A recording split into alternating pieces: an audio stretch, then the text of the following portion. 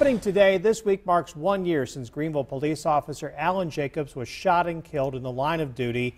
And today, Bob Jones University is hosting a prayer breakfast in his honor. Officer Jacobs was shot after he and another officer went to talk to Deontay Mackey about him trying to buy a gun. Mackey ran, officers chased him. That's when Mackey fired at Jacobs. 7 News' Rochelle Spence is live at Bob Jones University this morning where that prayer breakfast is just starting. Rochelle?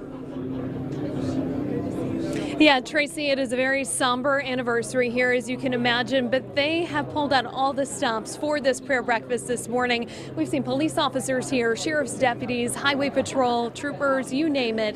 So much law enforcement presence here this morning. And of course, it is all in honor and respect for Officer Allen Jacobs, who lost his life a year ago. Joining me now is Reyna Garcia. She is a criminal justice student here at Bob Jones University. What does this event mean to you? Everybody coming together for prayer and for a meal? It's it's honestly awesome and amazing to graduate and one day work alongside people like this. It's awesome and coming together as a community, as a family. It's it's really awesome. It's awe-inspiring, honestly. Can you kind of speak because you know this on a level? I mean, being a student here and, and having his family be faculty here, can you kind of speak to how it's emotional, but yet I can tell you're celebrating in a way? It, it's both things that you're all feeling right now.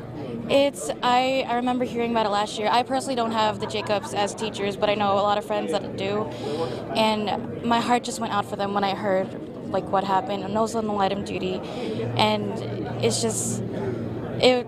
I I felt for the family honestly, and just again just to see everybody come together like this and support a family. I I'm so privileged to come to a college that does this. Really. Reyna Garcia with Bob Jones University, thank you so much. I'm going to step out of the way really quick so you can just take in this room. This has not even started yet, and look at all the support and the love at that very back corner. That is where former Officer Allen Jacobs' family is going to be his wife, his eight month old daughter, his other children. We'll check back in with you when this is underway, guys. All right. Thank you so much, Rochelle.